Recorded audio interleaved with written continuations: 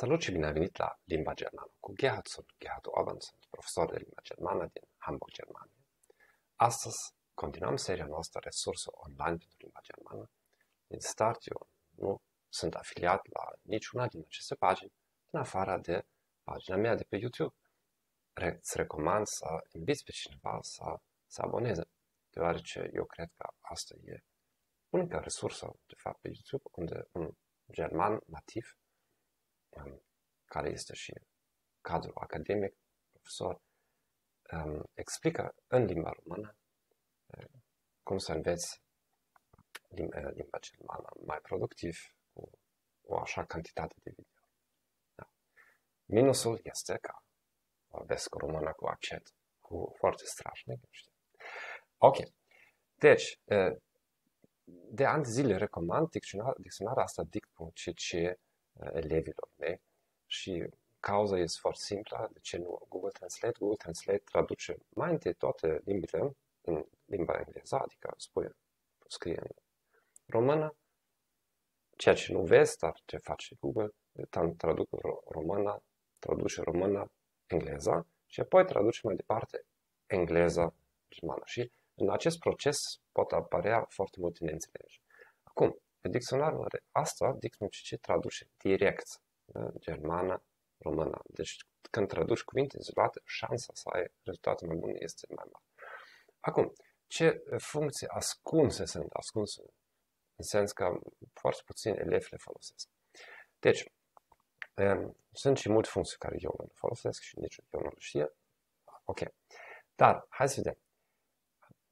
Este aici, hai să setăm aici mai întâi Deutsch Rumänisch. Ja? Și acum este apeși aici pe subjects, apoi sunt diferite. Aici ai liste de cuvinte după anumite teme. Și asta e arhi util, dacă înveți cum recomand eu, din start să-ți faci mai, mai întâi o listă de, de teme despre care vrei să vorbești fluent în limba germană, adică temele profesionale, de hobby, interese private, și nu să înveți, pur și simplu ca un, ca un șobolan care apasă pe un buton cu o aplicație și înveți aceleași cuvinte care milioane de alți oameni cu aplicația asta învață.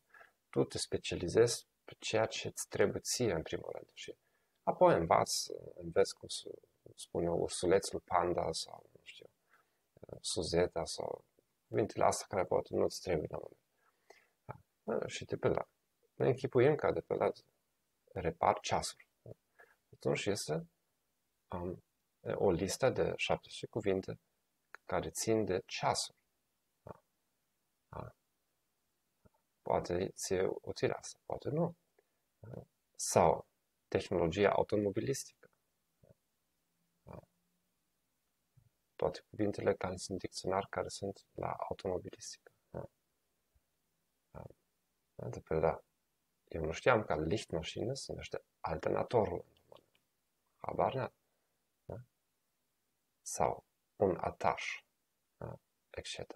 Da? Sau aprindere, etc. Da? Deci, îți recomand, fă o listă de șase teme care tu trebuie să fii fluent la lucrul tău da? și e lista respectivă.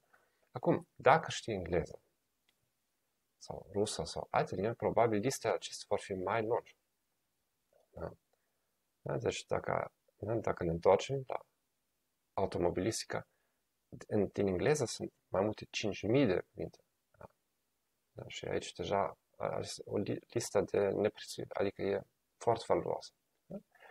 Da? Și un alt mic lucru este că dacă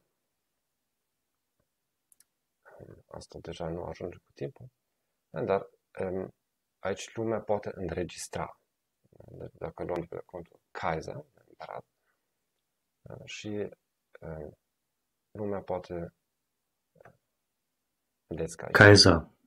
Sunt diferite pronunțări și unor apare și drapelul Austriei sau Elveției și pot să compar pronunțări diferite în diferite țări. Da. Pa, pa!